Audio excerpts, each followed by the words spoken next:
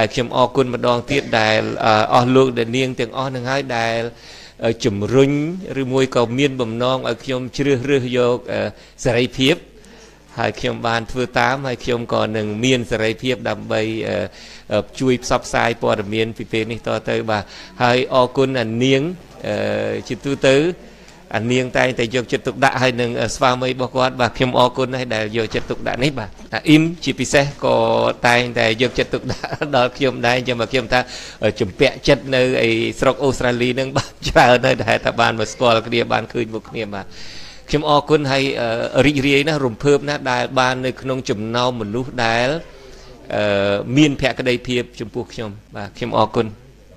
មកទៅតែបានទទួលតំណែងម្សិលមិញឯងថាជើញមកមិនបានដឹងមុនយូរទេហើយកប់ជួនថ្ងៃនេះតនេទៅក៏រីករាយមកជួបជុំនៅក្នុងទីនេះហើយมันមានជាធម្មទេសនាអីច្រើនទេប៉ុន្តែអឺជាពេលវេលាត្រូវនិយាយហើយចង់និយាយដែរ ហ្នឹងហើយអាត្មាក៏បានព័ត៌មានខ្លះខ្លះដែរតាមមើលតាមប្រព័ន្ធ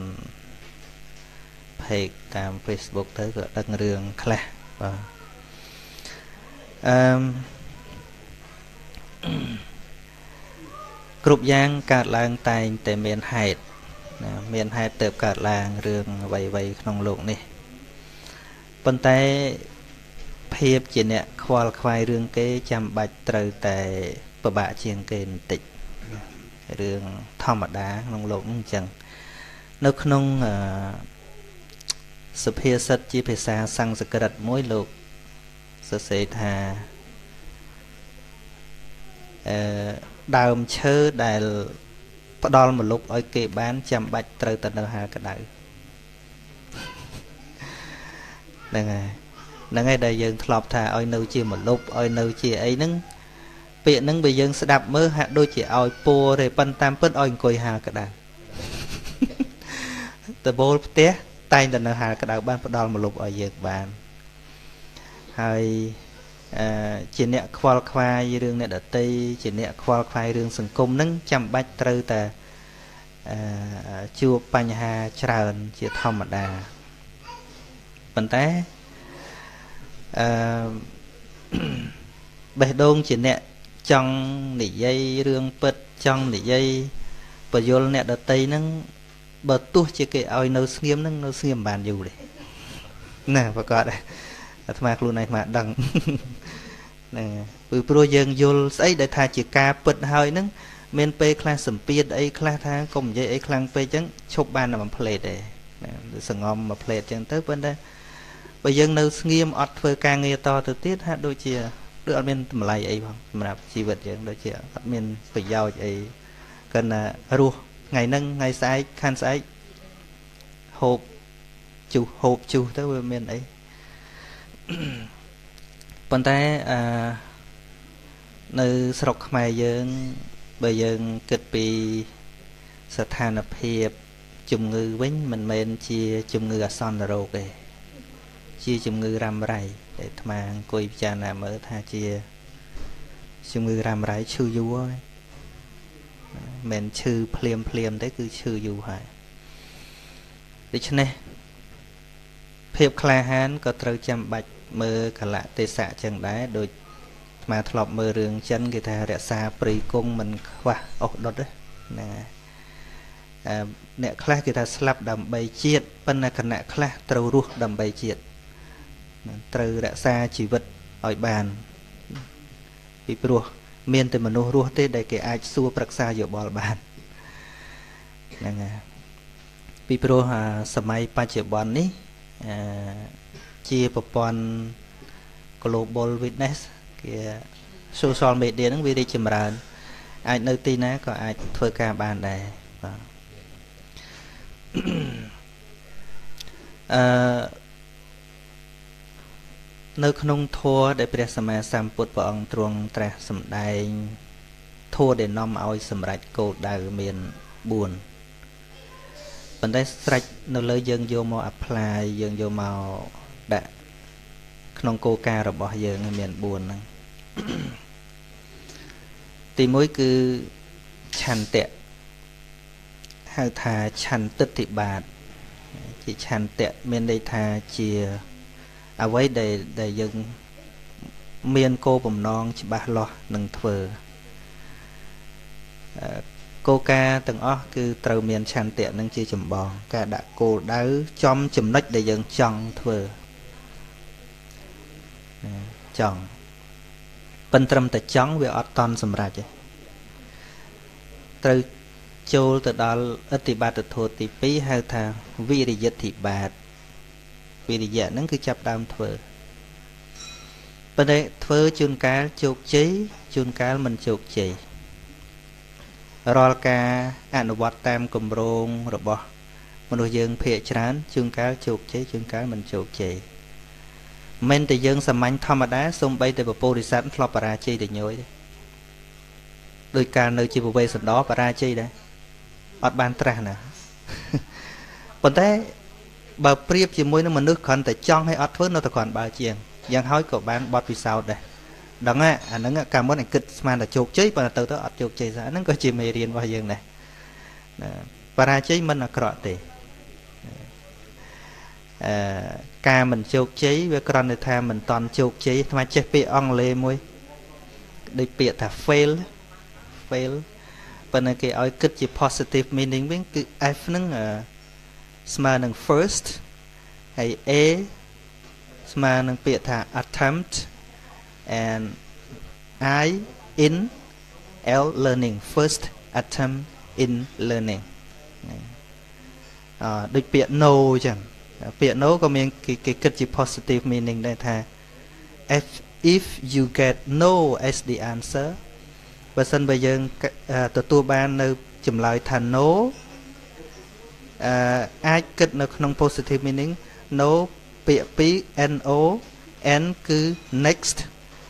o គឺ opportunity អញ្ចឹងសំខាន់ណាស់ពរដែលព្រះសម្មាសម្ពុទ្ធប្រទាន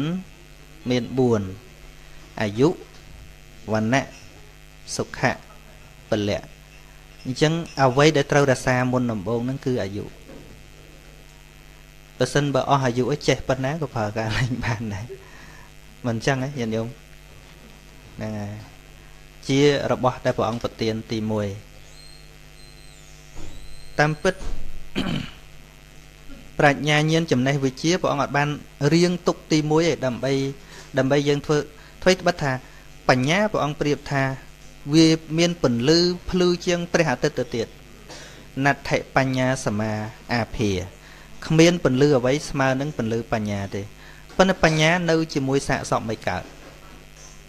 បញ្ញានៅជាមួយមនុស្សឈឺក៏ធ្វើការអត់កើតអញ្ចឹងបានព្រះអង្គដាក់រៀងគ្នាទី1អាយុវណ្ណៈសុខៈសុខភាពអីហ្នឹងល្អសិនបាននៅចុងក្រោយពលៈហ្នឹងកម្លាំងកាយកម្លាំងបញ្ញាហ្នឹងនៅពីខាងក្រោយទេបើសិនជាអត់មានអាយុអត់មានសុខភាព ការរស់នៅមិនមិនល្អបញ្ញានឹងប្រើអត់កើតទេ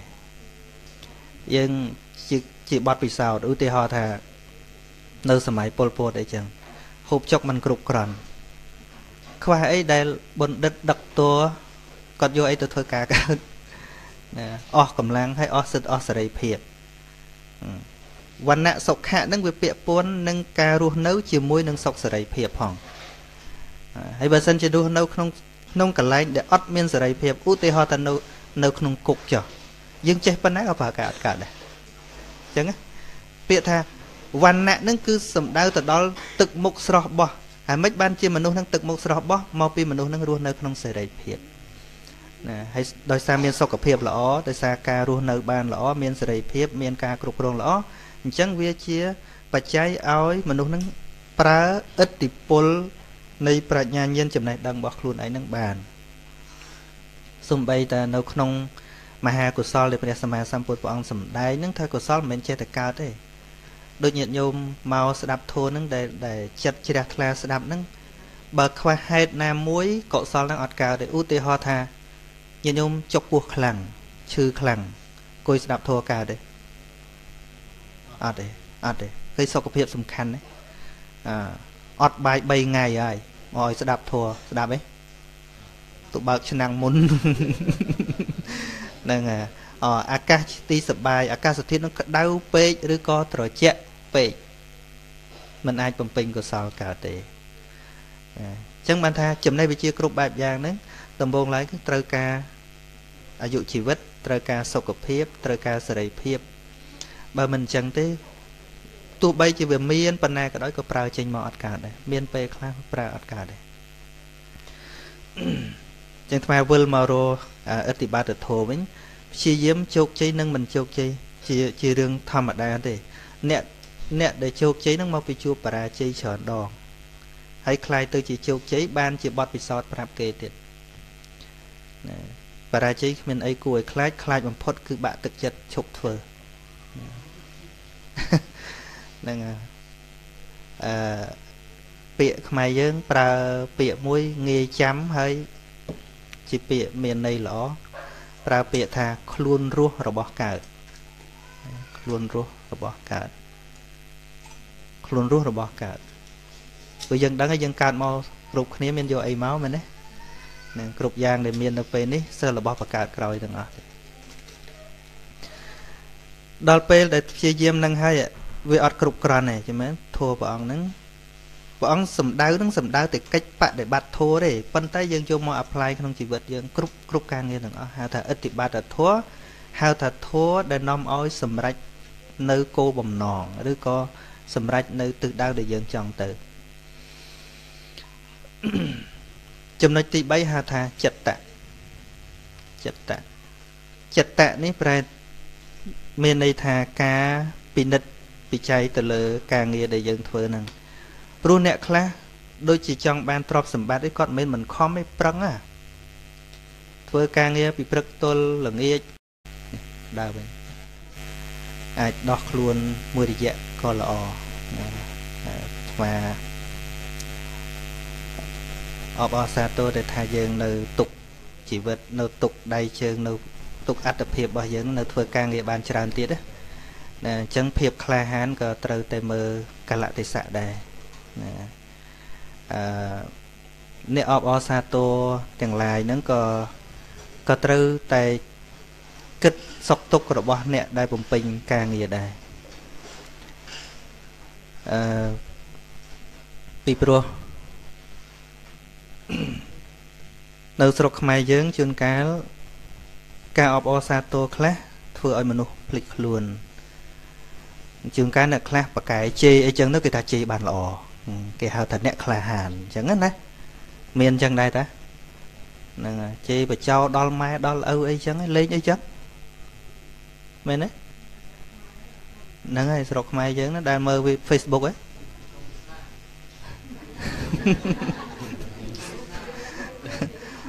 ហ្នឹងហើយអឺអឺជេរត្រឹមតែមនុស្សអ្នកលេងជាមួយគ្នាក៏វាមិនអីដល់ម៉ែដល់ឪដល់ពូជដល់ម្បោអីចឹងទៅវាហ្នឹងហើយដល់អាហ៊ានជេជេខ្លាំងចឹងទៅបើគេហៅថាអ្នកក្លាហាន ស្មាថាពាក្យក្លាហានវាមិនមែននៅលើ អ្នកដតីបញ្ជោទេវាមិនមែនទល់តែគេថាអូនិយាយមិនចេះខ្លាចអីហ៊ានជេរហ៊ានអីបានហៅថាអ្នកខ្លាហានអាហ្នឹងវាឡើងទៅជាអ្នកក្លាហានហ្នឹងវាទៅជាអ្នកស៊ីជោវិញបើសិនអញ្ចឹងបានអាត្មាសរសេរផុសមួយដាក់ថា អឺជេតថ្លៃស្រុកយើងសបោអ្នកជេតថ្លៃហ៎អត់តាន់ដឹងន័យចុះអ្នកជេរខ្លាំងខ្លាំងខ្លាំងខ្លាំងវាមកពីតថ្លៃវាមិនតាន់ត្រូវ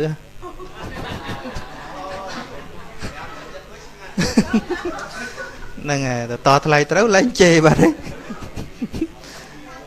អាហ្នឹងគេហៅ អាថ្មហៅម្យ៉ាងទៀតហៅថាចរិតមេមន់មេមន់រឿងកំ pl ែងគេនោះហ្នឹងហើយចរិតមេមន់ហ្នឹងធ្លាប់ធ្លាប់ស្ដាប់ព្រមម៉ាញគាត់លេងទេប៉ុន្តែថាមនុស្សខ្លះចរិតមេមន់អញ្ចឹងដែរនឹងធ្វើដូចជាមមតំណាស់អញ្ចឹងណាប៉ុន្តែបំផុតទៅមានមមអីអត់មមអញ្ចឹងបានអឺ អាត្មាតាមដានស្ដាប់ដែរលោកជុនច័ន្ទបុតដែលគាត់វិភាគអីមួយយ៉ាងមួយយ៉ាងអាត្មាមិនដែលឮគាត់ជេរបចោអីទេប៉ុន្តែបើយើងស្ដាប់អញ្ចឹងបានថាមនុស្សនិយាយគ្នាបើមនុស្សគេចេះគិតមិនបាច់ជេរពាក្យខ្លះហ្នឹងបើមនុស្សចេះមានសតិសម្បជញ្ញៈហ្នឹងវាឈឺជាងជេរទៅទៀតជេរឈឺទៅសបកក្រៅប៉ុន្តែបើមនុស្សនិយាយឲ្យគិតពិចារណាមើលពាក្យមួយម៉ាត់មួយម៉ាត់ខ្លះហ្នឹងអឺវាវាធ្ងន់ជាងពាក្យជេរទៅទៀត ពីព្រោះពេលដែលយើងនិយាយអត់ខឹងពេលដែលយើងនិយាយដោយការប្រុងប្រៀបទុកជាមុនពាក្យសម្ដីរបស់យើងវាមិនសូវជន់កែងទេហើយព្រះសម្មាសម្ពុទ្ធព្រះអង្គសម្ដែងថាណដ្ឋិតោសៈសមោកលៈថាគ្មានកំហុសអ្វីខ្លាំងជាងតោសៈទេមនុស្សតាខឹងក្រោតហើយនិយាយត្មងត្មាំងហ្នឹងគឺទៅជាមួយមាននេះហ្នឹងយូរយូរទៅគ្មានស្ដាប់ពីណាទេប៉ុន្តែ យើងអាចពិសោធន៍មើលដោយខ្លួនឯងបានអាពើខំលមងលម៉ាំងខ្លាំងហើយយើងនិយាយហ្នឹងប៉ុន្តែពេលយើងឈប់ខឹងហើយយើងចាក់ស្ដាប់ខ្លួនឯងវិញដឹងមិនបាច់អ្នកដតីថាគឺ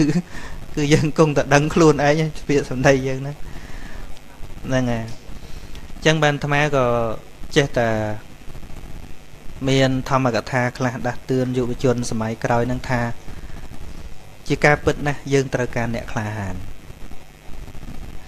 ប៉ុន្តែយើងត្រូវការអ្នកក្លាហានដែលមានទិសដៅពិតប្រកបមិនមិនចូលតាមគេសរសើរតអូជេទៅជេបានល្អមិនអញ្ចឹងមិនអញ្ចឹងសង្គមយើងមិនដឹងជាទៅជាស្អីទៅវិញទេអញ្ចឹងបានអាត្មានិយាយធัวនឹងចង់បញ្ជ្រាបធัวនឹងនៅក្នុងសង្គមរបស់យើងថងថាភាពខ្ទេចខ្ទាំរបស់យើងភាពខ្ទេចខ្ទាំរបស់ជនជាតិយើង គឺត្រង់ដែលលៀបពណ៌គ្នាស្អប់គ្នា ដោយចោតគ្នាថានេះអញ្ចេះនោះអញ្ចោះនេះអញ្ចេះនោះអញ្ចោះហើយទីបំផុតទៅ យើងទៅប្តឹងនរណាគេបើបើយើងមើលទស្សនវិជ្ជាទៅឃើញតែខ្មែរយើងស្លាប់គ្នាហ្នឹងយើងទៅនិយាយប្រាប់ណាគេនិយាយប្រាប់គេមានគេប្រអាប់ថែមមែនទេដូចថៃអីជេជេកូនថៃហើយតិចងាប់កោតខ្មែរ បើថាគេជេរអាឆ្កែគេមិនសូវខឹងទេណាបើថាតាំងរាប់តកើតខ្មែរវាខឹងណាគឺចង់សម្ដៅថាឆ្លោះគ្នានឹងឯងនឹងចឹងចឹងភាពក្លាហានពិតជាត្រូវការធ្វើអីបើអត់មានភាពក្លាហានយើងមិនហ៊ានធ្វើទេប៉ុន្តែក្លាហានតាមរបៀបជេរគ្នានឹងវាដូចជាមិនដឹងហាក់ដូចជាសាបព្រោះអ្វីមួយយ៉ាងឲ្យតែស្អប់គ្នា យើងចង់ជួយសង្គមមួយហើយយើងនិយាយឲ្យស្អប់គ្នាអញ្ចឹងជាតិនឹងរាប់ស្អីខ្លះបើនិយាយថាជាតិខ្មែរហ្នឹងអាត្មាបូកបញ្ចូលជាកោសិកាមួយដែរនៅក្នុងហ្នឹងយើងទាំងអស់គ្នាជាខ្មែរជាកោសិការបស់សង្គមខ្មែរហ្នឹងមួយដែរទោះបីជាយើងត្រូវតស៊ូដើម្បីទឹកដីដើម្បីស្អីស្អីក៏ដោយប៉ុន្តែសួរថាទឹកដីហ្នឹងជារបស់នរណាបើសិនជាធ្វើដើម្បីខ្មែរខ្មែរទាំងអស់ហ្នឹង ប៉ិនគ្រាន់ថាវាជាវប្បធម៌មួយធ្វើឲ្យមនុស្សញៀនញៀននឹងការជេរគ្នានឹងអាត្មាមិនដឹងថាយ៉ាងម៉េចនិយាយប៉ុណ្្នឹងគេជេរអាត្មាទៀតតាមមើលព្រោះតើកាលណាគេជេរគេគិតថាល្អហើយបានគេជេរណា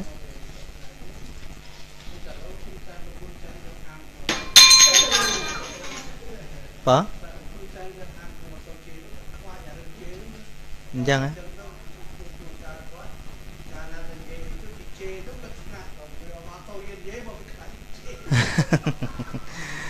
នឹងហើយ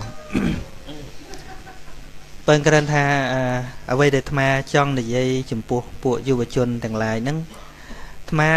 ចង់ឲ្យប្រើភាពក្លាហានហ្នឹងឲ្យស្មើស្មើមិនបើហ៊ានជេរគេពីចម្ងាយពេលអង្គុយទល់មុខឲ្យហ៊ាននិយាយផង អាហ្នឹងបានមកទទួលស្គាល់ថាអឺក្លាហានមែនអាលេងពីចម្ងាយជេរយកជេរយកដល់ទល់មុខបាត់ចាស់បាត់ចាស់អ៊ុំពូអីចឹងទៅអាហ្នឹងគេហៅថាមនុស្សអត់មានភាពស្មោះត្រង់ទេមហាថ្មកិន្ធីគាត់និយាយថាមនុស្សមានចរិតតែមួយឯងតែមនុស្សមានចរិតពីរមនុស្សខូចតោះណាមនុស្សមនុស្សចឹងមានចរិតតែមួយឯង តែកាលណាមនុស្សមានចរិតពីរមនុស្សខូចឯងអានៅឆ្ងាយផ្សេងមនុស្សទៅជិតផ្សេងមិនខូចចឹងបានព្រះអង្គសរសើរព្រះអនន្តថាព្រះអនន្តមានមេត្តាកាយកម្មមេត្តាវចីកម្មមានន័យថាធ្វើកាយវិការតាំងពីគិតតាំងពីអីចំពោះព្រះអង្គនៅចំពោះមុខព្រះអង្គយ៉ាងណានៅពីចម្ងាយក៏អនន្តធ្វើអញ្ចឹងដែរនឹងហៅថាមនុស្សល្អប៉ុន្តែបើហ៊ានជេរទៅពីចម្ងាយដល់ពេលចិត្តទៅក៏ជ្រូនជ្រូនអាត្មាថាធ្វើអ្នកកំសាកឲ្យហើយទៅស្រួលជាងអញ្ចឹងបានថា ក្លាហាន ដែលអាត្មាស្ដាប់តាមការផ្សាយតាមស្អីស្អីលើហងៃហ្នឹងក្លាហានវាមិនមែនមិនមែនធៀបពិតរបស់មនុស្សទេមិនមែនធៀបពិតរបស់មនុស្សបើហ៊ានទទួលស្គាល់ធៀបពិតរបស់ខ្លួនឯងមិនចេះសាបសូន្យទេមានពេលដែលយើងហ៊ាននិយាយមានពេលដែលយើងហ៊ានឈប់ប៉ុន្តែដល់តែសំដែងមុខមុខគេពេកអានឹងវាធ្វើយូរទៅ អ្នកដែលមានសេចក្តីក្លាហានពិតប្រកបមានមនសិការៈពិតប្រកបចំពោះជាតិនិយាយទៅវាច្រឡំគ្នាអស់ព្រោះព្រោះចេញអ្នកក្លាហានច្រើនពេកព្រោះចេញមកណាក៏ស្រឡាញ់ជាតិជេរខាងនេះទៅជេរខាងនោះទៅជេរខាងនេះដល់តែពេលអ្នកនិយាយត្រឹមត្រូវមែនទេក៏គ្មានណាយកចិត្តទុកដាក់អាណាដូចអាណាចេញមកចឹងទាំងអស់មកនៅវាច្រឡំគ្នាអស់ទៅណាហ្នឹងហើយច្រឡំគ្នាអស់ណាបាទ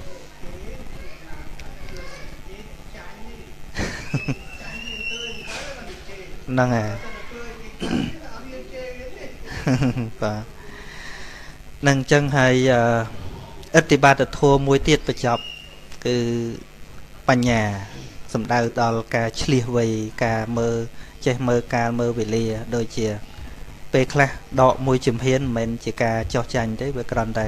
សម្លឹងមើលគោលការណ៍របស់យើងតទៅទៀតហ្នឹងហើយដូច្នេះអឺចង់អ្នកដតីព្រោះ ព្រោះអ្នកដែលជួយជាតិពិតប្រកបជួនកាលមិនខ្វល់ជាមួយនឹងពាក្យគេថាយើងក្លាហានឬក៏អត់ទេជួនកាលគេអាចថាយើងកំសាឬក៏ស្អីស្អីចឹងទៅប៉ុន្តែគ្រាន់ថាអឺសិក្សាប្រវត្តិអ្នកដែលតស៊ូទាំងឡាយដើម្បីសង្គមដើម្បីអីហ្នឹងច្រើនតែធ្វើអ្វីដែលត្រូវបានមនុស្សសាមញ្ញទូទៅហ្នឹងនិយាយថាឲ្យថាវាមិនកើតអញ្ចឹងចុះប៉ុន្តែវាមានគោលដៅច្បាស់លាស់ព្រោះ ជាងការការបើកចំហពេក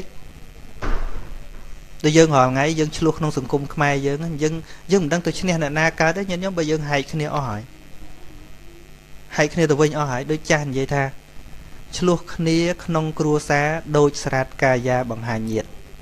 ឆ្លោះគ្នាក្នុងសង្គមជាតិដូចលៀតកំណប់កំហែបង្ហាញចោលហើយបើយើងហែកគ្នាអស់លីងហើយទៅវិញទៅមកទៅវិញទៅមកទៅវិញទៅមកជេរគ្នាទៅវិញទៅមក គេមិនចាំបាច់ដាក់គិញមកសើបយើងមកវាដឹងអស់បាត់ហើយមែនទេចំណុចខ្លាំងចំណុចខ្សោយអីគេដឹងអស់លីងហើយយើងមិនដែលចេះអនុគ្រោះគ្នាបងនឹងចឹងអឺថ្មមិននិយាយច្រើនតទៅទៀតទេគ្រាន់តែ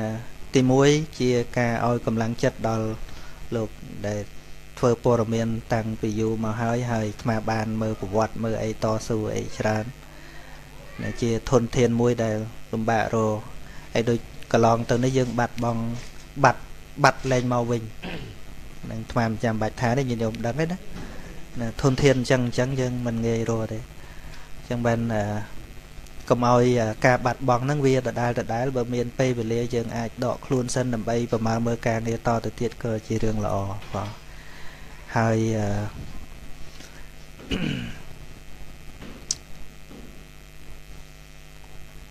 ដរាបណាក្តីសង្ឃឹមនៅតែមានទោះបីវានៅក្នុងភាគរយតិចយ៉ាងណាក៏ដោយក៏យើងមិនបោះបង់សេចក្តីព្យាយាមដែរដូចខ្មែរយើងនៅបរទេសច្រើនអញ្ចឹងបានដូចអាធ្លាប់និយាយអញ្ចឹងថាស្អីក៏ដោយដូចដូចមកតាមផ្លូវមិញអ្នកទៅជូនអាសួរអាថាឲ្យប្រៀបធៀបថា Buddhism ហើយនឹង Christian ស៊ីស៊ូ Cry ហ្នឹងតើណាល្អជាង ថ្មមិនចង់ឲ្យគិតពីតម្លៃខាងក្រៅទេមនុស្សកំត្រួអីជឿអីតែងតែគិតថាល្អប៉ុន្តែវាស្រេចនៅលើ how we engage ឬក៏វិធីសាស្ត្រដែលយើងយកមកអនុវត្តទោះបីជាវិធីសាស្ត្រនឹងល្អឥតខ្ចោះក៏ដោយប៉ិនបើអ្នកធ្វើនឹងវាអត់ត្រឹមត្រូវតាមនឹងផង វាចាញ់អាវិធីសាស្ត្រមធ្យមមធ្យមដែលគេគិតសាមញ្ញសាមញ្ញទៅទៀតហ្នឹងឥឡូវយើងមិនបាច់ទៅអួតទៅពពុទ្ធនឹងអស់ចាណាពពុទ្ធនឹងរកឃើញសច្ចធម៌ថាឃើញតែពពុទ្ធនឹងប៉ុន្តែយើងឃើញអត់ហ្នឹងទោះបីពពុទ្ធនឹងល្អប៉ុណ្ណាក៏ដោយប៉ុន្តែមើលរបៀបដែលអ្នកដើរតាមនឹងយកមកអនុវត្តបានអត់ឧទាហរណ៍ដូចជានៅជប៉ុនគេយកសាសនាពីរសាសនាតៅដើមរបស់គេហ្នឹងហើយនឹងបញ្ចូលមួយពុទ្ធសាសនាហើយគេដក យកចំណុចណាដែលប្រើកើតគេដកយកទៅចំណុចណាដែលប្រើកើតចំណុចណាមិនប្រើកើតគេអត់យកអ្នកវិអ្នកសរសេរប្រវត្តិសាស្ត្រជប៉ុនមួយគាត់សរសេរថាប្រទេសជប៉ុនរីកចម្រើនទៅលើគ្រប់វិស័យដោយសារពុទ្ធសាសនា តែគេយកចំណុចតែបន្តិចបន្តិចឯងគេយកកន្លែងប្រើកើតឧទាហរណ៍ថាគេយកសង្កហធัวយកមកបញ្ចូលទីមួយគឺចេះឲ្យទៀនការសង្គ្រោះគ្នា ទីពីរពយៈវាចាការនិយាយពាក្យសំរុំដល់គ្នាការដាស់តឿនគ្នាដោយដោយមេត្តាចិត្តឃើញទេទី3អឺសមាណតតាការប្រព្រឹត្តខ្លួនស្មើអដ្ឋចរិយារស់ឲ្យបានជាប្រយោជន៍ដល់គេគេយកអ្វីដែលត្រឹមយកមកធ្វើកើតចឹងបានព្រះសម្មាសម្ពុទ្ធព្រះអង្គសម្ដែងអំពីការនិយាយពាក្យពិតតែបើអត់ធ្វើកើត ពាក្យពិតក៏ប៉ុន្តែយកមកប្រើអត់កើតស្មើនឹងពាក្យអត់ប្រយោជន៍តែអញ្ចឹងគេគេយកតែត្រឹមរបស់មានប្រយោជន៍ហើយយើងមានបត្រៃបិដកពេញប៉ុន្តែអត់ធ្វើផងហ្នឹងមែនទេបត្រៃបិដកមានណាច្រើនជាងស្រុកខ្មែរឥឡូវហែនោះមកហែវត្តវត្តនៅញោមអស់ប្រហែលចប់3ដក21ចប់ហើយបើបានរៀនដឹងចេះប៉ុណ្ណាវាច្រើនតែចប់អញ្ចឹងទៅណា ហ្នឹងហើយអញ្ចឹងបើគ្រាន់តែឲ្យប្រៀបអ្វីដែលមើលឃើញពីក្រៅអាត្មាមិនអាចទៅកំណត់ថាណាល្អជាងណា គឺអាត្មាត្រូវឲ្យមើលឃើញថាតើណាគេប្រើជាប្រយោជន៍បានឧទាហរណ៍ខាងយេស៊ូខាងអីគេបង្កើតជាសហគមន៍គេបង្កើតជាអង្គការគេទៅបង្កើតតណាតណាគេតែងតែបង្កើតសាលារៀនគេជួយឲ្យមនុស្សចេះភាសារកការងារបានធ្វើអាហ្នឹងប្រយោជន៍របស់គេយើងទៅថាម៉េចមិនចឹងយើងមិនទទួលស្គាល់មិនកើតអឺ ហើយយើងយើងល្អយ៉ាងម៉េចក៏ដោយតែយើងអត់យកមកធ្វើអត់យកមកបាក់ធ្វើជាប្រយោជន៍ក្នុងសង្គមរបស់យើងល្អទៅសាសនាទៅមនុស្សល្អល្អដូចអាត្មាមើលព័ត៌មានថ្ងៃមិញក្មេងអាយុ10ឆ្នាំអីជុលកែវគ្នាពេញទៅរោងប៉ុនហើយធ្វើប៉ុនហើយនាំក្មេងផឹកស្រាហើយប៉ុនខ្មោចលើដើម្បីកំដរខ្មោចមានអីស្រាសិតតែកំដរខ្មោចទល់ទល់ភ្លឺអីចឹងអស់ ឆ្នាំណានោះនៅពោធិ៍សាត់លេងខ្មោចងាប់តែមួយដល់អ្នកទៅកំដរខ្មោចងាប់4 10 20នាក់ទៀតពលប្រហែល60នាក់បន្តកំដរខ្មោចមែនតេនទៅពលស្រានោះហ្នឹងចឹងហ្នឹងហើយអញ្ចឹងបានថាមិនបាច់ទៅឆ្លោះគ្នាថាសាសនាអីទេសំខាន់ថាតើយើងយកមកធ្វើប្រយោជន៍អីបានខ្លះតែប៉ុណ្ណោះដូច្នេះអឺការ សម្លឹងមើលបញ្ហាដើម្បីជួយអ្នកដតីនឹងត្រូវការអឺធម៌3សំខាន់ដែលអាត្មាសិក្សាមើលដែលព្រះសម្មាសម្ពុទ្ធព្រះអង្គទ្រង់ត្រាស់ថាជាកម្ពូលធម៌កម្ពូលធម៌ទី1គឺសច្ចៈពាក្យពិតចឹង ពាក្យពិតរបស់យើង គឺជាយីហោដ៏សំខាន់បំផុតដែរតើកាលណានិយាយឲ្យគេឈប់ទុកចិត្តតែពីរបីដង ទំនុកចិត្តនឹងថយចុះអញ្ចឹងការនិយាយពាក្យពិតមិនមែនជាការដាក់តនកម្មខ្លួនឯងឬក៏ដាក់សម្ពាធឲ្យខ្លួនឯងទេតាមពិតជាយីហោរបស់យើងប៉ុណ្ណោះទេអញ្ចឹងបានពេលខ្លះ មិនបាច់និយាយក៏បានដែរបើនិយាយទៅអត់ពិតផងអញ្ចឹងពាក្យសន្យា ជាពិសេសពាក្យសន្យា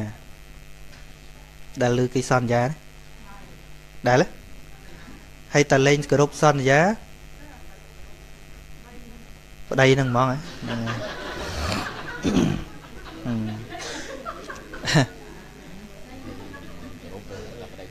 ហ្នឹងហើយ ប៉ុន្តែពាក្យសច្ចៈហ្នឹងមិនមែនចេះតែត្រង់ធ្លូស្លាប់ក៏ស្លាប់ទៅទេណាមិនមែនទេយើងខ្មែរយើងចេះតែថា slot ស្លាប់កាចមានភពអាយុយឺនយូរមិនអញ្ចឹងហ៎ slot ស្លាប់ហ្នឹងគឺរបៀប slot អត់បញ្ញាខ្មែរយើងនឹងជួនកាលគាត់ slot ហើយគាត់មិនសូវចេះដឹងគេបោកមួយជីវិតមួយជីវិតអាហ្នឹង slot ស្លាប់ slot អត់ អត់ឆ្លាត slot អត់បញ្ញាណាសម្ដីពិតក៏ដោយប៉ុន្តែមនុស្សនិយាយត្រូវមានមានកិច្ចមានឧបាយក្នុងការនិយាយអាត្មាឧទាហរណ៍មួយមិនមែនថា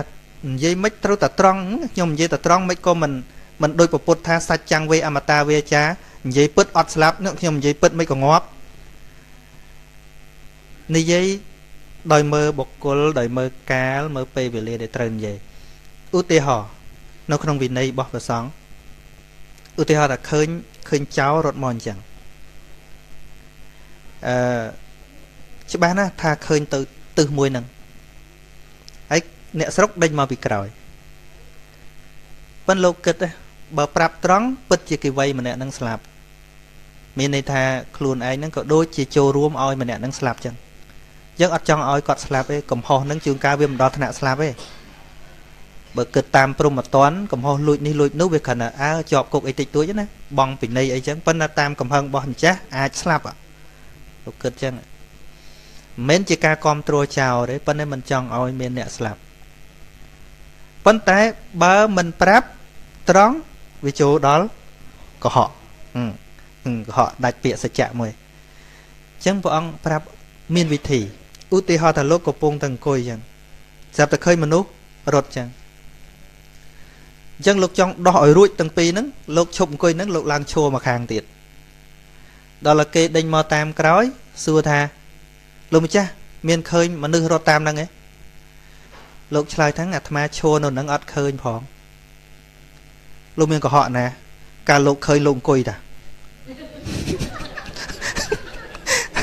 មែនអត់ ហ្នឹងលោកថាអាត្មាឈរនៅនឹងអត់ឃើញផងព្រោះកាលឃើញកាលលោកអង្គុយអញ្ចឹងកុហកក៏មិនកុហកអ្នកនោះក៏មិនបានស្លាប់ដែរអញ្ចឹងពាក្យពិតនៅតែជាពាក្យពិតព្រោះលោកអត់បានកុហកទេឃើញទេបើបើសិនជាលោកថាងអត់បានឃើញផងប្រើពាក្យតែប៉ុណ្ណឹងអាហ្នឹងកុហកឲ្យព្រោះបានឃើញបានឃើញប៉ុន្តែលោកថាពេលអាត្មាឈរនៅនឹងអត់ឃើញ ដូចខ្លួនតែកិច្ចហ្នឹងកុំឲ្យប្តីប្តីយកទៅកុហកប្រពន្ធ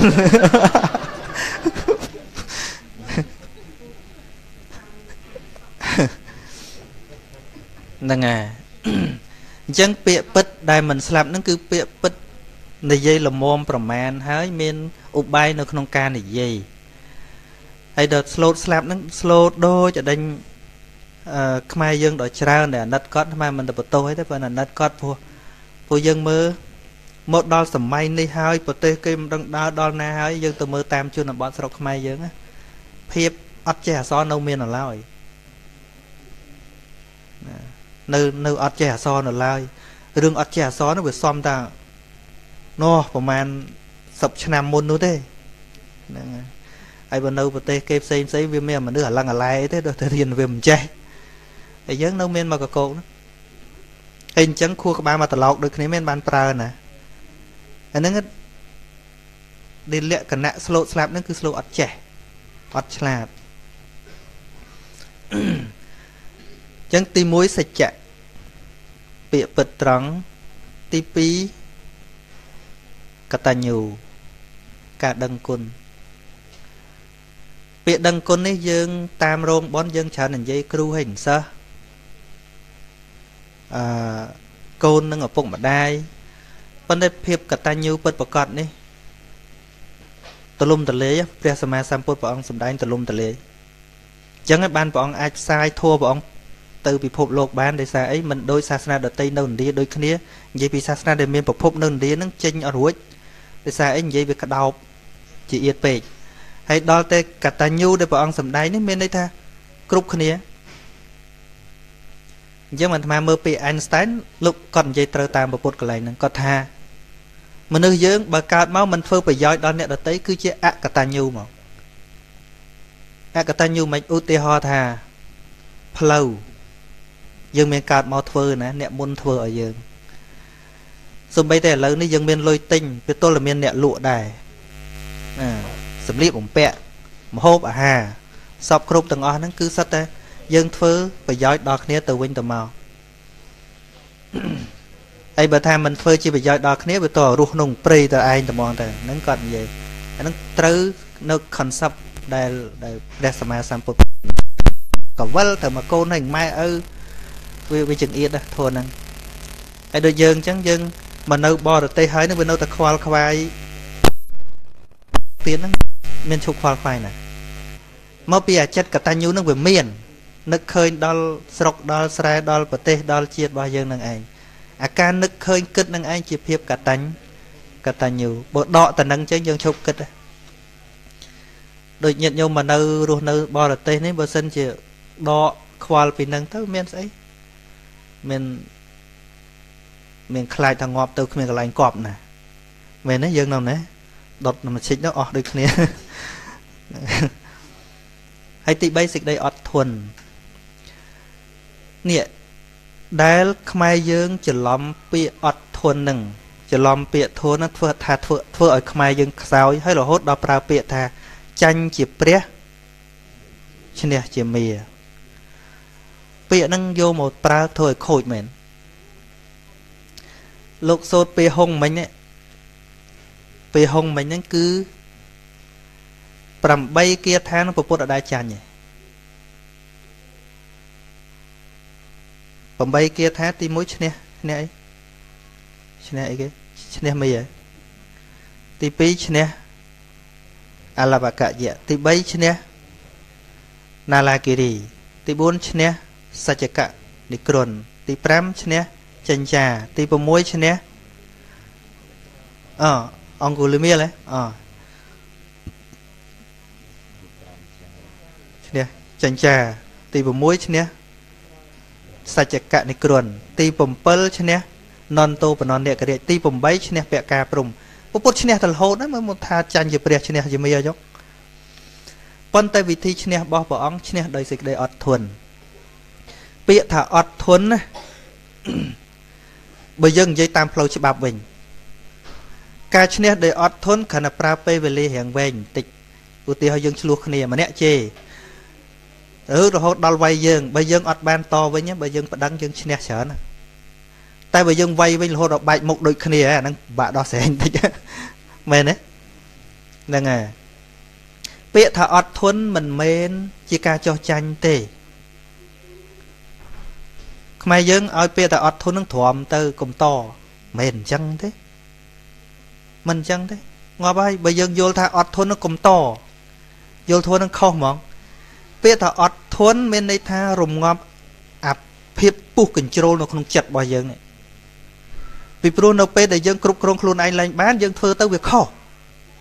វាអាចឲ្យយើងទៅសម្លាប់គេវាអាចឲ្យយើងទៅធ្វើអំពើអីដែលវាខុសច្បាប់អញ្ចឹងពាក្យថាអត់ធន់គ្រាន់តែជាការទប់កុំឲ្យចិត្តពុះកញ្ជ្រោលកើតឡើងហើយទុកឱកាសយកបញ្ញាយកមកប្រើ ថាតើត្រូវដោះស្រាយតាមវិធីណា អញ្ចឹងបានមហាធម្មកិន្ធីគាត់ប្រើពាក្យថាអហិង្សាសកម្មអហិង្សាក៏ប៉ុន្តែទៅមុខជានិច្ចអហិង្សាសកម្មមិនមែនមិនឈប់គិតទេដេកតែហ្មងឈប់ធ្វើមិនមែនទេគាត់ប្រើពាក្យហ្នឹងល្អអហិង្សាសកម្មអញ្ចឹងពាក្យថាអត់ធន់ហ្នឹងបើមនុស្សសាមញ្ញរក្សាធនហ្នឹងអត់បានទេធ្វើតាមចិត្តពុះកជ្រោលពុះកជ្រោលម្ដងម្ដង ហើយកាលណាយើងធ្វើការតាមអាលក្ខណៈអារម្មណ៍ពុះកជ្រោលម្ដងម្ដងការងារហ្នឹងអត់អង្វែងទេអត់អង្វែងបន្តិចបន្តិចឈប់ហ៎អញ្ចឹងបានអឺកាលដែលលោកកែមលៃគាត់ស្លាប់អញ្ចឹងអាត្មាចេះតែមើលអាដឹងថាសំណោះទឹកចិត្តខ្មែរយើងបើមិនពេលហ្នឹងសមាជិកក្នុងសមាគមថ្មហ្នឹងហេយើងទៅអត់មកថាមិនតន់អត់ទៅអី ព្រោះអត់យើងក៏គេមានលុយធ្វើបន់ដែរពេលហ្នឹងមែនណាប៉ុន្តែសមាគមយើងនៅអង្គុយចាំមើលបន្តិចទៀតដល់មនុស្សស្ងាត់ទៅចាំជួយមើលគ្រួសារគាត់នេះឯងដែលអាត្មាចង់ឲ្យសមាជិកហើយចង់ឲ្យខ្មែរយើងហ្នឹងជួយគិតអញ្ចឹងកាលណាយើងធ្វើចិត្តតាមអារម្មណ៍ណាអាត្មាមិនថានរណាជាសត្រូវទេអ្នកណាក៏ដោយឲ្យតែជាសត្រូវរបស់យើងណា គឺគេនឹងមានព្រៀបលើយើង នៅពេលដែលយើង ប្រើចិត្តពុះកញ្ជ្រោលមកផ្លេតមកផ្លេតពីព្រោះអីកាលណាយើងប្រើធ្វើអ្វីតាមការកញ្ជ្រោលតាមអារម្មណ៍មកផ្លេតមកផ្លេតទោះបីមានរឿងធំប៉ុណ្ណាក៏ដោយគេអត់ដោះស្រាយឲ្យយើងគេប្រើពិធីពន្យាពេលកាលណាពជាពេលភាសាភាសាភាសាភាសាចាំតែភ្លេចភ្លេចភ្លេចភ្លេចភ្លេចគេកើតរឿងមួយទៀតដល់កើតរឿងមួយទៀតយើងដូរទៅជ្រុលជាមួយនឹងមួយទៀតភ្លេចឲ្យមុនបាត់ហើយ អាត្មាថាគេចាប់ចំណុចខ្សោយយើងបានហើយអាត្មាកាន់ប្រាប់អាត្មាដែលនិយាយដល់ថ្នាក់ហ្នឹងនិយាយម្ដងថាគេស្គាល់ចរិតខ្មែរយើងច្បាស់ហើយថាកជ្រុលតែមួយផ្លេតភាកច្រើនកញ្ជ្រោលតែមួយផ្លេតស្អីកជ្រុលកជ្រុលជ្រុលជ្រុលទោះបីគេថាមិនដោះស្រាយឲ្យស្អីក៏ដោយប៉ុន្តែគេពន្យាពេលពន្យាពេលបន្តិចឈប់ខឹងតែឈប់ខឹងលែងទៅមុខអាឃើញទេ អញ្ចឹងបានកន្លែងហ្នឹងយល់ពាក្យថាអត់ធន់ពាក្យថាអត់ធន់មិនធ្វើតាមចិត្តខឹងទេក៏ប៉ុន្តែព្យាយាមសង្កត់ភាពពុះកញ្ជ្រោលហើយដាក់គោលការណ៍ឲ្យច្បាស់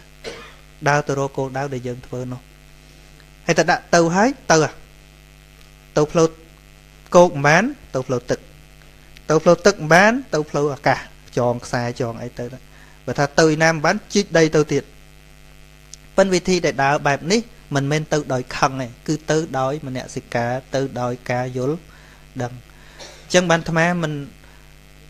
មិនចង់ឲ្យខ្មែរយើងជេរគ្នាទៀតទេចង់ឲ្យអង្គុយនិយាយស្ដាប់គ្នាថាតើយើងត្រូវដាក់គោលការណ៍ម៉េចថាតើយើងត្រូវជួយជាតិសាសន៍យើងម៉េចហ្នឹងនិយាយឲ្យយល់គ្នាសិនយល់គ្នាសិនបើថាមិនបាត់មិនតន់យល់គ្នាទេគាត់ថាអូពុះរឿងមួយហើយក៏ជ្រោលទៅទាំងអស់គ្នាដែរតែបន្តិចបែកគ្នាអស់ហើយទៅរកគ្នាឯណា មិនចឹងមិនចឹងឬក៏អាត្មាថាតឯងអឺថាតឯងមែនហ្នឹងហ្នឹងហើយណាអញ្ចឹងបានអាត្មាចង់បញ្ចូលមโนសញ្ចេតនាអឺបញ្ចូលនៅអ្វីដែលដែលដែលភាសាដួងចិត្តខ្មែរយើងនឹងឲ្យយើងស្ដាប់គ្នាបានសិនដូចខ្មែរយើងរស់នៅក្នុងមែលប៊នតាមលោកអ៊ំ ថាប៉ុន្មាន15000 15000មិនតិចទេច្រើនដែរតាហ្នឹងហើយនៅអាមេរិកក៏ច្រើនដែរអញ្ចឹងបានថាមុននឹងកសាងអីហ្នឹងអាត្មាចង់កសាងអារបួសចិត្តចិត្តខ្មែរយើងវារបួសរាល់ថ្ងៃហ្នឹងវារបួសដោយសារការចុចឲ្យស្អប់គ្នាដោយសារការជេរគ្នាដោយសារការប្រត់ប្រាស់ជាពិសេសបាក់សម័យពលពតហ្នឹងមកបាក់សម័យហ្នឹងដែលធ្វើឲ្យខ្មែរលែងចង់គិតអីមក ថាតើកាលណាយើងទៅដោយខឹងងាយខុសងាយខុសមែនទែនឧទាហរណ៍អាត្មាមិនដឹងថាប្រវត្តិសាស្ត្រហ្នឹងវាយ៉ាងម៉េចបើរៀនរាល់ថ្ងៃអានអានសភៅរាល់ថ្ងៃនោះវាមានប្រវត្តិសាស្ត្រពីមុនតាំងពីសម័យអង្គរអីប្រវត្តិសាស្ត្រត្រឹមមកកាត់អាត្មាកើតមកនោះវាអត់ច្បាស់សោះចង់រៀនអាហ្នឹងមិនដឹងទៅអានសភៅអីឲ្យវាច្បាស់នៅនេះថាអញ្ចឹងនៅនោះថាអញ្ចឹងគ្រាន់តែផែនដីខ្មែរប្រមាណហ្នឹងឆ្លោះខ្ញុំមិនតន់ជប់ផងហើយហើយទៅរៀនមិនចេះ ឃើញឃើញញាតិញោមឥឡូវយើងទាំងអស់គ្នាអាត្មាសួរថាផែនដីខ្មែរមានទៅហុំបានអាហ្នឹងបជីទេទៅវោះមើលហ្នឹងហើយអឺចឹងបានណាធัวដូចខ្មែរលើកមិញថាធัวមិនចាំបាច់ថាធัวទាំងអស់ទេយើងជាអ្នកកាន់ពុទ្ធសាសនាហ្នឹងគឺថា ឲ្យបានប្រយោជន៍មែនទេហ្នឹងគឺត្រូវចាប់យកធัวណាដែលវាអាចរួមគ្នាបានឲ្យខ្មែរនឹងរួមគ្នាបានអញ្ចឹងបានអាត្មាខានទេសរឿងទៅទេវតានឹងយូរហើយព្រោះអាហ្នឹងវាអត់ដឹងតែប៉ុន្មានគីឡូម៉ែត្រទៅដល់ហើយអានោះបើសំខាន់គឺបច្ចុប្បន្ននេះឯងដែលយើងនិយាយស្ដាប់គ្នាបានហើយតាមរយៈ ពធតាមរយៈសាសនាតាមរយៈវត្តអារាមយើងមានកន្លែងជួបជុំគ្នាមកថាអឺបើសិនបើយើងតម្រង់ទិសដៅមួយដំបូងឡើយកុំតន់អាចចង់បានអីពីគ្នាអញ្ចឹងបានអាត្មាបង្កើតសមាគមមកអត់តន់ចង់បានអីប៉ិនមិនមែនមិនចង់បានទេចង់បានប៉ុន្តែមិនមែនចង់បានតាមរយៈដដែលដដែលទេការអាត្មាទៅអាមេរិកក៏លឺថាអាត្មាបង្កើតសមាគមអ្នកខ្លះចង់ជួយនេះចង់ជួយអាត្មាថាទុកលុយសិន ណាទុកចាយអស់ចាយសិនណាពេលគ្រាន់តែចង់ថាជំហានដែលយើងដើរហ្នឹងពេលដែលអាត្មាបញ្យល់ទៅយើងយល់អត់យើងយល់ថាតើវិធីសាស្ត្រដែលយើងដើរទៅហ្នឹងយើងយល់អត់ថាតើគោលដៅហ្នឹងអាចទៅមុខកើតអត់វាទល់ថាយល់ព្រមទាំងអស់គ្នាហើយអ្នកដែលចូលសមាជិកហ្នឹងអាត្មាថាមិនមែនអាត្មាទៅឲ្យញាតិញោមចុះហើយយកតលុយទេបើថាអត់តន់យល់ទេចូលលុយក៏អត់យកដែរពីព្រោះ យើងធ្វើអីក៏មិនដែលមានអាទស្សនវិស័យវែងឆ្ងាយតាំងពីដើមមកឧទាហរណ៍តែយើងធ្វើវត្តចាស់ស្រុកខ្មែរយើងបួសធ្វើចាតិកាធ្វើពហិឲ្យអញសឹកប្រឹងធ្វើតែពហិឲ្យអញសឹកឲ្យធ្វើទៅអីគាត់មិនដែលមានមានមានកំណត់មួយថាធ្វើដើម្បីស្អីទៅមុខទៀតឲ្យបានវែងឆ្ងាយហ្នឹងវាមិនសូវគិតអញ្ចឹងណាដូចថៃគេធ្វើវត្តមួយគេធ្វើវត្តមួយហ្នឹងគេមានកំណត់ថានឹងធ្វើជាផោះតាង1000ឆ្នាំក្រោយ ចឹងបានគេធ្វើជាលោហៈធាតុអីគេកប់នៅក្នុងកន្លែងហ្នឹងថាក្រោយក្រោយកន្លែងហ្នឹង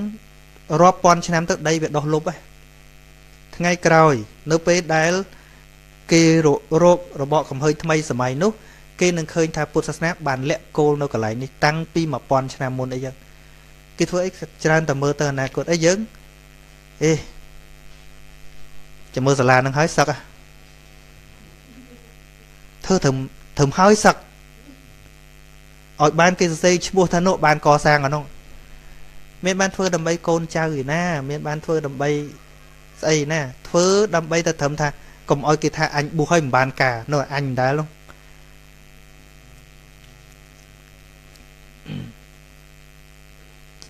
អាត្មានិយាយយូរយូរកាន់តែយូរទៅមែនទេហ្នឹងហើយអញ្ចឹងអាត្មាចង់ចង់និយាយថាធ្វើម៉េចឲ្យខ្មែរយើងហ្នឹង មានមនោសញ្ចេតនាមួយគ្នាហើយដែលយើងចង់ជួយអីហ្នឹងត្រូវមានគោលការណ៍ឲ្យច្បាស់លាស់មកដើម្បីដើម្បីព្រោះព្រោះអង្គការច្រើនសមាគមច្រើននៅនៅអាមេរិកអីវ៉ាន់ហ្នឹងអាត្មាទៅញាតិញោមថាសមាគមខ្លះអាយុតែមួយឆ្នាំឯងងាប់ហើយវាឆាប់ងាប់វាឆាប់ងាប់ទៅវិញនៅអស់ហ្វាន់ងាប់ហើយហ្នឹងហើយព្រោះ ព្រោះអត់តាន់បយលមនុស្សឲ្យយល់ថាកោការនឹងធ្វើចុះយ៉ាងម៉េចយ៉ាងម៉េចវាអត់តាន់យល់វាអត់តាន់យល់គ្នាផងមិនដឹងថាទៅណាខ្លះអើយកុំបយលច្រើនអញ្ចូលលុយទៅចប់ចប់មិនកើតទេមិនកើតទេដូចដូចល្អំដឹងឯងចូលព្រៃអីចឹងទៅព្រៃម៉ាគីអីចឹងទៅជាទៅព្រូព្រូព្រូមិនដឹងស្អីទេនោះទីបំផុតទៅអ្មេចទៅអាហ្នឹងវាចូលដីហ្នឹងហើយ ចឹងបានណានៅព្រៃសអូនៅព្រៃសមួយទៀតអូនៅព្រៃសមួយទៀតហ្នឹងហើយបាទហ្នឹងចឹងចឹងបានយើងមានវត្តមានអារាមមានអីនៅបរទេសហ្នឹងអឺជាសនមពួរដែរថាអឺ ខ្មែរយើងមានកន្លែងជួបជុំងាយត្រូវគ្នាគឺតាមវត្តហ្នឹងបើសិនបើវត្តត្រូវគ្នា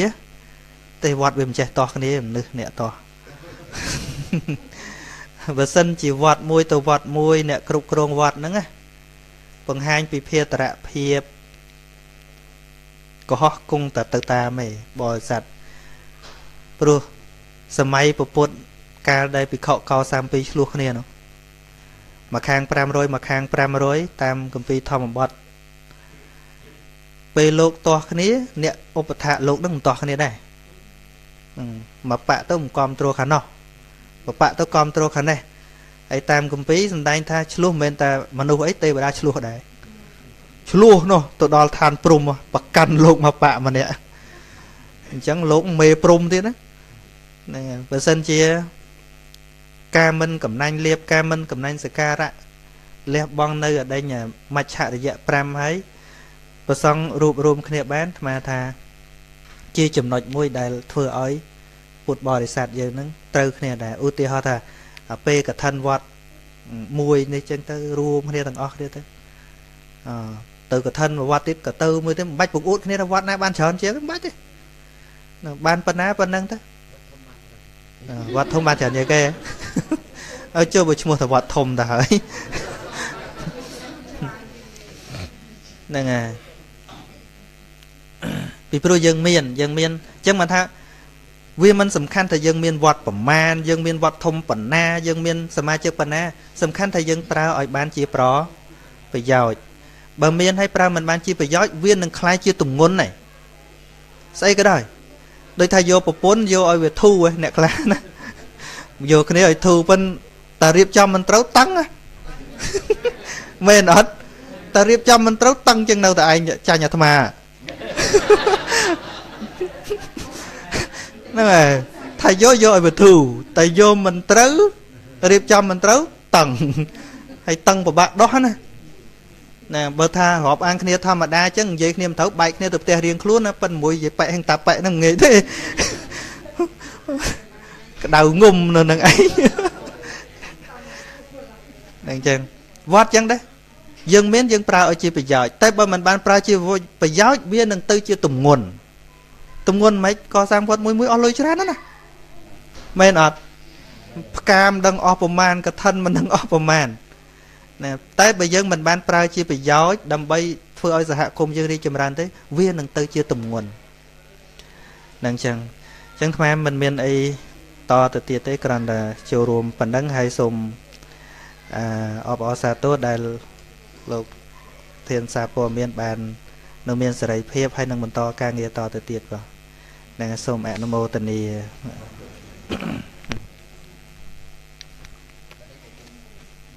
បាត់ចា អឺហើយប្រទេសនា400ដុល្លារនេះសូមចូលទៅខាងវត្តដេគុណពីមុនឮតំណែងពីអឺពីញូហ្សេឡង់មកវិញថាប្រាក់ទេសនាដែលខ្ញុំកណាទៅទេសនៅវត្តដេគុណម្ដងហ្នឹងខ្ញុំណាប្រកាសចូលប៉ុនហើយដេគុណថាអត់បានទទួលទេមិនដឹងទៅណាហើយខ្ញុំកណាក៏អត់យកដែរមិនដឹងទៅណាទៅលុយហ្នឹងឥឡូវប្រាក់នេះសងរួចមិនរួចមិនដឹងទេចូលកសាង 嗯 哼